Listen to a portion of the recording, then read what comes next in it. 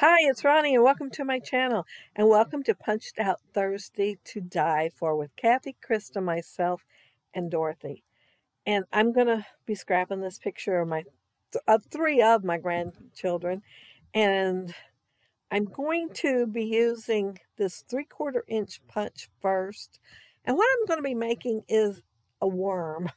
and actually, it's the one I've made before for a lay layouts. I've done a couple with bookworm on there. And it's going to be this exact same thing as the bookworm. I'm not going to make it any different because I figure a worm is a worm, you know. and I think he's kind of on the cute side. So, yeah, I'm just going to make him the same way. That's a three quarter inch punch. And I'm just putting one circle behind the other and only showing about half. And I'm not making sure they're all showing the exact same amount. Some are showing just a little bit more than others because I I like the fact that it's not really super uniform.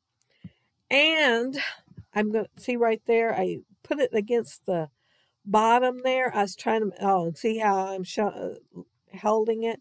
I'm making sure that those two are on the same level so that when I put him on the scrapbook page, he will fit on there a whole lot better and I didn't punch enough of these out. I punched about a dozen, but I need a few more because I'm going to have his the rest of his body come back up.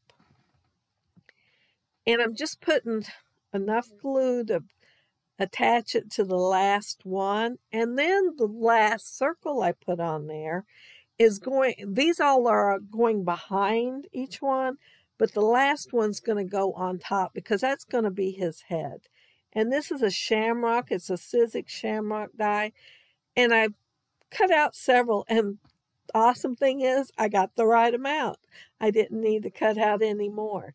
I am inking them in, it's a close to my heart ink and it's um, Clover Meadows. I figured since, you know, my layout is about four leaf clovers that I would use that and make I, and I am making these a brighter green than a clover is, but I like this green and it's embossed. So yeah, I like it a lot. And that uh, one right there is half inch and I did them in white and then I'm going to do the black. It's a 5 8 inch. So it's just going to be a tiny bit bigger than the white. And those are going to be my little worm's eyes. And see his head up there? They're about as big as his head. And the bookworm, it, you know, I, I always loved the cartoons with the bookworm on there. He was so cute. He had these big old eyes. Well, I'm going to have the big old eyes too. And I'm making the little pupil now, and it's a quarter inch. And I'm just going to put them there in the middle. And I'm not going to get them quite all the way over. I'm leaving a little gap of the white but they're going to be close to the middle. And this is a teardrop punch. And it's pretty small, but it's going to work pretty good for this. And I'm going to just put it right there. It's kind of going to look like a nose, but he's really, it's really his mouth because I'm not going to have a nose. I thought about it and then I decided I'm just going to have a mouth since his eyes were so big on his head.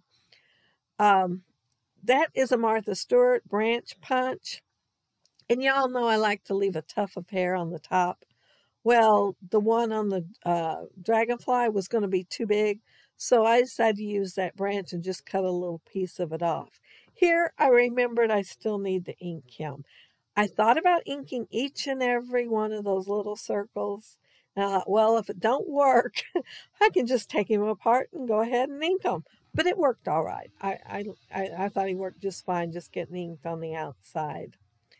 And my little tuft of hair is not going to dry out. I did it pretty quick and it still had the glob of glue on there. So it's just going straight on to the head. And then I'm going to take the dragonfly punch and I punched four of them out, I think it is to start with. I'm going to take the tail of the dragonfly for his antenna and I'm going to do one on each side of his little tuft of hair. And I have mm. two more there, and I'm going to be using them too. And that poor dragonfly, I have hardly ever used him as a dragonfly. He's been used for so many other things. And I'm going to pull that up and I'm going to hold it close to the camera so you can see. I am cutting one wing and then the tail. And this time, one wing and then the tail. And it's going to make an arm where his arm's bent at the elbow because I'm going to mm. have him holding the shamrock. And oh, here I'm chewing part of the shamrock up. And so it looks like he's chewing on it because that picture up there is my grandkids and they're hunting for a four leaf clover. And they hunted quite the while and they never did find any. Reagan gave up first, and she ended up picking some dandelions for me. So I got a bouquet out of the deal, but they didn't get anything. And I told them I never found a four leaf clover either. I don't know how people do it.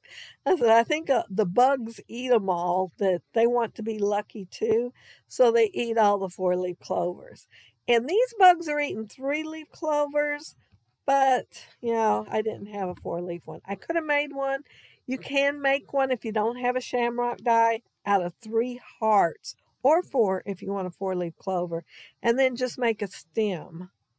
But since I had this die and I've had it so long, and of course I never get enough use out of it, I decided I wanted to go ahead and use the die because I plan on having so many on my page.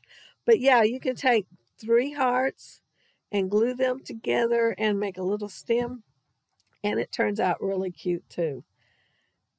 And oh, this paper here is um, Echo Park mistletoe something, but it came in the warehouse uh, box that I got way back in December.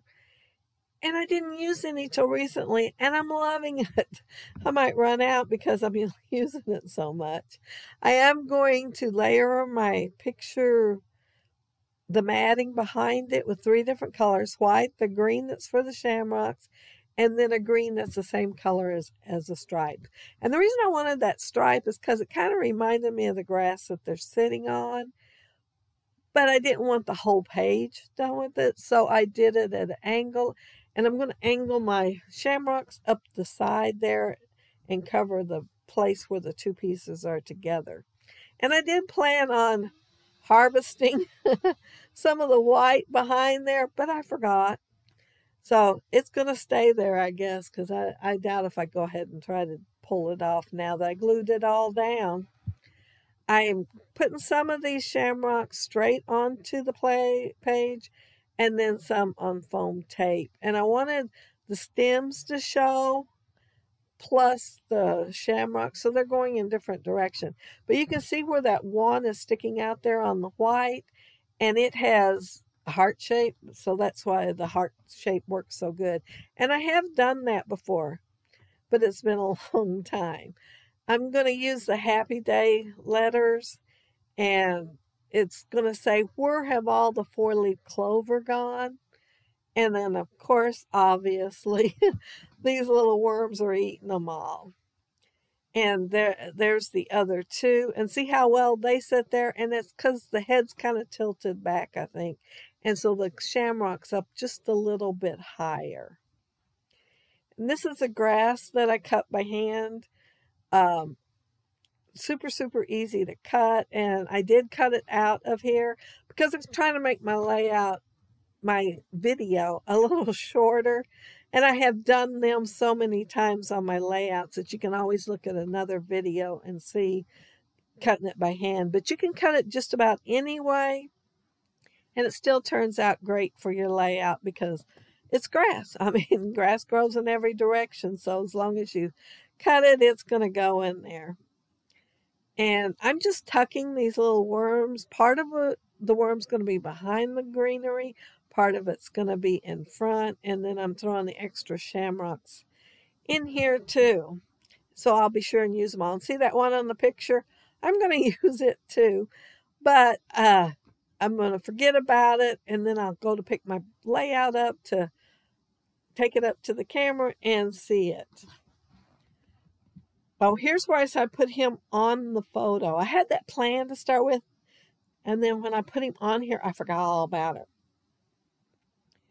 And see how white that sky is? I thought that was just too white. And I knew it was kind of representing the sky. So I am using this chalk ink. And it's just called Sky, and I'm just inking around it a little bit. So it looks like there's some clouds there and some blue. But that's it. That's my layout. Be sure to check the other gals out and see what they created this week with their punches and their dies. Their links will be down there below. And if you leave a comment, I'll get back with you. And if you are if you like the video and hit a thumbs up, I'd appreciate it.